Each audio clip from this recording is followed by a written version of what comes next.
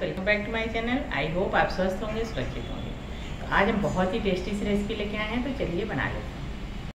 तो आज हम जगन्नाथ जी का प्रसाद बनाने जा रहे हैं रसबली बहुत टेस्टी बनता है और ये फ़ेमस है। तो उड़ीसा का ये फ़ेमस प्रसाद है जगन्नाथ जी का। यदि ये रेसिपी अच्छी लगे तो प्लीज़ मेरे चैनल को सब्सक्राइब करें लाइक करें और हमारे वीडियोज़ को अधिक से अधिक मात्रा में शेयर करें। तो चलिए इसे बना लेते हैं। इसे बनाने के लिए हमने एक लीटर दूध गैस पे चढ़ा दिया है और इसकी हम रबड़ी बनाएँगे। रबड़ी बहुत गाढ़ी नहीं बनेगी। जब दूध बॉयल होने लगेगा, तब हम इसमें केसर डाल देंगे। केसर का फ्लेवर इसमें बहुत अच्छा लगता है और इसमें इलायची पाउडर भी डालेंगे। तो केसर का कलर इसमें आ जाएगा और फ्लेवर भी अच्छी तरीके से आ जाएगा, इसलिए हम इसे पहले ही डाल देंगे और इलायची पाउडर हम लास्ट में डालेंगे। तो ये देखिए हमने केसर डाल दिया है। दस बारह धागे हमने केसर के डाल दिए हैं। थोड़ी देर में इसका कलर इसमें अच्छी तरीके से आ जाएगा। और फिर हम इसे अच्छे से गाढ़ा करेंगे। उसके बाद फिर इलायची पाउडर डालेंगे। जब गैस बंद करेंगे तो देखिए केसर कलर छोड़ने लगा है। बहुत ही अच्छा कलर आ रहा है और काफ़ी अच्छे से ये बॉयल भी हो गया है और काफ़ी रिड्यूस भी हो गया है। अभी हमें थोड़ी देर और इसे पकाना है। तो ये देखिए इस तरह से पक के तैयार हो गया है। अब हम इसमें चीनी डाल देंगे। दो टेबल स्पून हमने इसमें चीनी डाला है और मीठा आप अपने टेस्ट के अनुसार कम ज़्यादा कर सकते हैं। तो देखिए, इसमें कलर अच्छे से आ गया है केसर का और अब हम इसमें इलायची पाउडर डाल देंगे और गैस को बंद कर देंगे। इतना ही गाढ़ा हमको चाहिए रबड़ी, बहुत ज़्यादा गाढ़ा नहीं चाहिए क्योंकि रसबल्ली डालने के बाद ये अच्छे से एब्जॉर्ब करेगा। गाढ़ी रबड़ी रहेगी तो अच्छे से एब्जॉर्ब नहीं करेगा, इतना ही पतला हमको रखना है। तो ये देखिए, अच्छे से ये तैयार हो गया है रबड़ी। अब हम इसमें इलायची पाउडर डाल देंगे। हाफ़ स्पून हमने इलायची पाउडर डाल दिया है और इसे अच्छे से मिक्स कर दिया। और अब इसे हम उतार देंगे और अब बना लेंगे रसबल्ली। रसबल्ली बनाने के लिए हमने एक बोल लिया है, ग्रेट किया हुआ पनीर। आप चाहें तो फ्रेश छेना भी बना सकते हैं दूध फाड़ के। वीडियो ज़्यादा बड़ा हो जाता है, इसलिए हमने छेने से नहीं, पनीर से बनाया है। तो इस तरह से आप पनीर से भी बना सकते हैं और ख़ुद के छेने से भी बना सकते हैं बना करके। अब हमने एक बोल पनीर लिया है ग्रेट करके और दो स्पून इसमें हमने सूजी डाला, एक स्पून हमने आटा डाला। हम आटा डाल के बना रहे हैं, आटा बहुत हेल्दी होता है। तो इस तरह से हमको इसे अच्छे से रब करना है। अच्छे से बिल्कुल आटे की तरह गूँथ लेना है। जब ये डो के फॉर्म में अच्छे से बंधने लगेगा, तब हम इसका रसबली बनाएँगे। इसको इतने अच्छे से आपको मसलना है कि इसमें से ऑयल रिलीज़ हो जाए। तो ये देखिए, घी छोड़ने लगा है। और अब काफ़ी अच्छे से बंध गया है। थोड़ी देर इसे हमें और मसलना है। जितने अच्छे से आप इसे मसल के तैयार करेंगे, उतना अच्छा आपका फूल के रसबली तैयार होगा। ये देखिए, काफ़ी अच्छे से डो हमारा तैयार हो रहा है। तो इसको हम इस तरह से रब करके अच्छे से तैयार कर लेंगे। अब बहुत ही अच्छे से मसल लिया हमने। बिल्कुल डो के फॉर्म में तैयार हो गया है और अब हम इसे गोल कर लेंगे। तो अब इसे हम साइड में रखते हैं।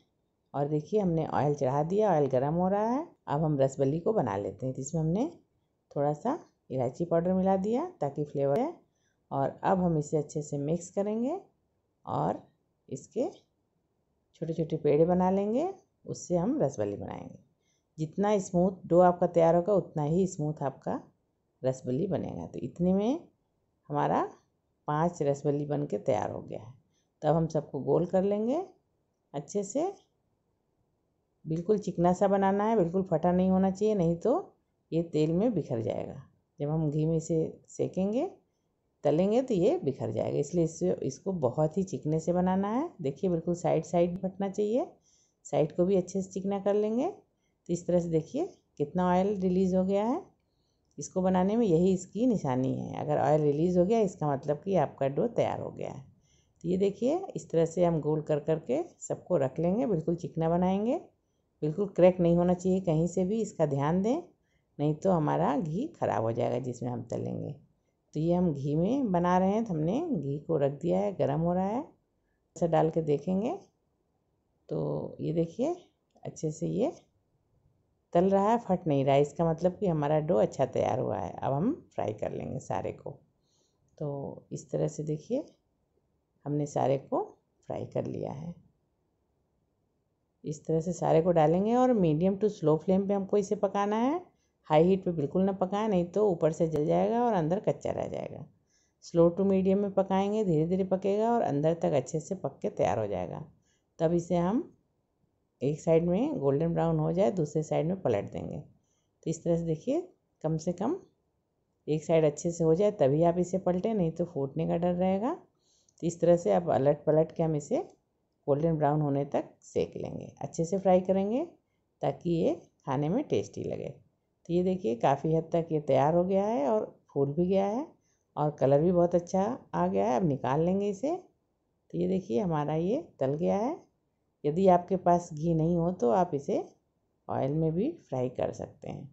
अब इसे हम, देखिए, एक बोल में शिफ्ट कर देंगे और इसमें हम जो रबड़ी बनाए हैं उसे डाल रबड़ी हल्की गर्म होनी चाहिए ताकि ये अच्छे से सोख कर ले। और अब इसे हम ढक करके कम से कम पंद्रह मिनट के लिए रख दें। अच्छे से सबको डुबा देंगे और पंद्रह मिनट के बाद फिर हम इसे सर्व करेंगे ताकि ये अच्छे से फूल जाए। तो अब देखिए हम इसे कुल्हड़ में सर्व कर रहे हैं क्योंकि कुल्हड़ शुद्ध माना जाता है, बहुत टेस्टी लगता है। ये एक बार आप ज़रूर बनाइए, ये रसबली बनाइए। यदि ये अच्छी बने तो प्लीज़ कमेंट करके ज़रूर बताइए कि कैसा बना है। तो अब हम इसे सर्व कर लेते हैं। तो ये देखिए, बहुत ही अच्छा कलर आया है, बहुत ही अच्छा रसबली बना है। इसे हम पिस्ता सानिस कर लेंगे और उसे तो यदि ये रेसिपी आपको अच्छी लगे तो प्लीज़ मेरे चैनल को सब्सक्राइब करें लाइक करें और हमारे वीडियोस को अधिक से अधिक मात्रा में शेयर करें। साइड में बेल आइकन होता है, उसे ज़रूर प्रेस करें ताकि जो भी वीडियो अपलोड करें आप तक पहुँचता रहे। मिलते हैं नेक्स्ट वीडियो में तब तक के लिए थैंक यू फ्रेंड्स